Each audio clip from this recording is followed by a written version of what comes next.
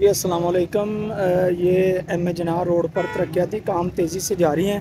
अभी जो नाला है, वो तमीर हो रहा है। ये सारे नाले का प्रोसेस मुकम्मल हो रहा है। ये ईंटें वगैरह आ चुकी हैं। हर चीज़ यहाँ पे हुआ है। ये यहाँ से गड़े डाल के तो उसमें ये नाले के लिए जगह बनाई जा रही है। और उम्मीद है कि बहुत जल्द ये कंप्लीट हो जाएगा इन ताला। और जो आवाम को इसकी वजह से परेशानी का सामना है, वो परेशानी दूर हो जाएगी। बहरहाल, ये डिप्टी कमिश्नर उकाड़ा का नोटिस लेना आवाम के लिए बहुत अच्छा साबित हुआ है। क्योंकि यहाँ पे सियासतदान तो तकरीबन नाकाम थे, क्योंकि अभी किसी की गवर्नमेंट नहीं है यहाँ पे तो इसलिए शायद उनके वो नंबर टांकने वाला प्रोग्राम कामयाब ना हो सका। बहरहाल, डिप्टी कमिश्नर को उकाड़ा की आवाम खराज तहसीन पेश करती है। उन्होंने ज़ाती तौर पर इस रोड का नोटिस लिया और इसकी मरम्मत के ऑर्डर जारी किए।